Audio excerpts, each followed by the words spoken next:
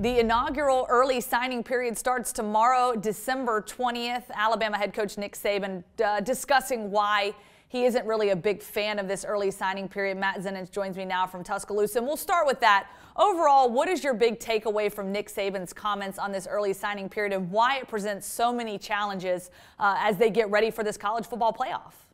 Pretty much that he has a certain distaste for it and that he's not a big fan of it. It's pretty much what he said the other day that he wasn't a fan of it when it was first put into place and he's not a fan of it right now. It creates a, a, lot of additional stress and responsibility for not only Coach Saban but others on Alabama's coaching staff. They've had to do a, a, lot more when it comes to recruiting during the course of December than they typically have have to do, and there's been traveling that comes along with that, and it's just created even more responsibility while at the same time they're preparing for the college football playoffs and a very difficult matchup with Clemson. And one of the other things that Coach Saban has said that he doesn't like about it either is the fact that if you look back to when, when Josh Jacobs signed with Alabama, Josh was a guy who was extremely under the radar and leading up to, I want to say the beginning part of January, so a month before National Signing Day, Josh only had two FBS scholarship offers and didn't get on the radar for big schools like Alabama until late in the process. And wait, one of the things that Coach Saban referenced is, without mentioning Josh specifically, that there are a lot of players that are going to be pressured by smaller schools right now to sign early because of those schools not wanting those players to blow up late and potentially have a bigger school come along and steal them away from from whatever school it is that they're, they're looking at right now. Yeah, so still a lot of question marks as to how this will all go down because this early signing period starts tomorrow, goes through Friday. So a lot of question marks. Of course, still a lot of drama could potentially happen. It'll be interesting to see. Now, the defensive line secondary spots, that's where Alabama's really heavy on recruiting. Why do you think that is here in this early signing period?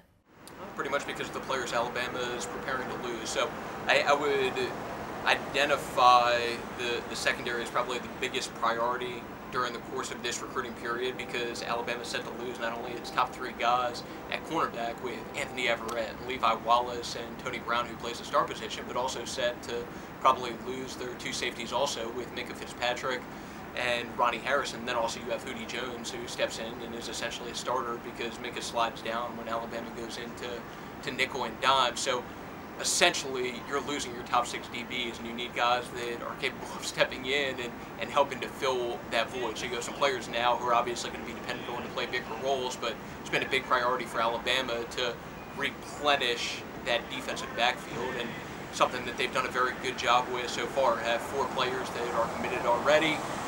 All, all four guys are four-star recruits, highly thought of, highly rated, and at the very least, a couple of those guys look to be in a good position to be able to contribute early at Alabama, specifically Josh Jobe and, and Saivion Smith, the, the former LSU player who is already here practicing at Alabama. And then similar, similarly, uh, along the defensive line, Alabama is set to, to lose some of their top players there. So Da'Shawn Hand will be gone. Josh Frazier, who's a top backup, is a senior also. And then Da'Ron Payne is a, a, possibility, maybe even likely, to move on to the next level also. So you need to replace some players there along the defensive line.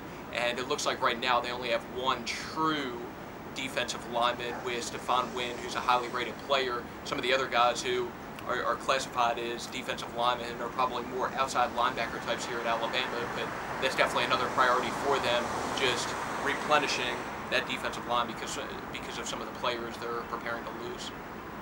Yeah, always a lot of moving parts, but we know Alabama, Nick Saban, always at the top of their game in terms of recruiting. With that being said, always trying to add some big names. If you could pinpoint a couple of guys in this early signing class that have either already committed or are expected to, to perhaps commit sometime this week, who would you say highlights this recruiting class for Alabama?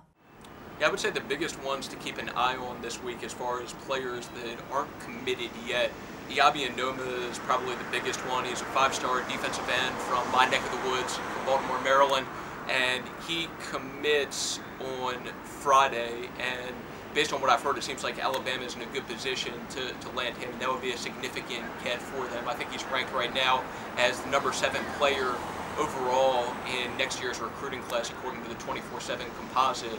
And just a, a, really good player, highly thought of, and would, would, needless to say, be a significant get for them if when that happens.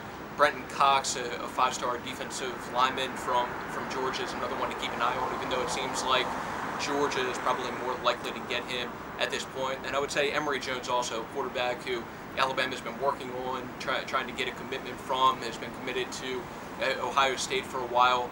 Um, that would be another one as far as guys who are making a, a final decision this week that, that's at least worth keeping an eye on, even though it's probably unlikely at this point that he decides on Alabama.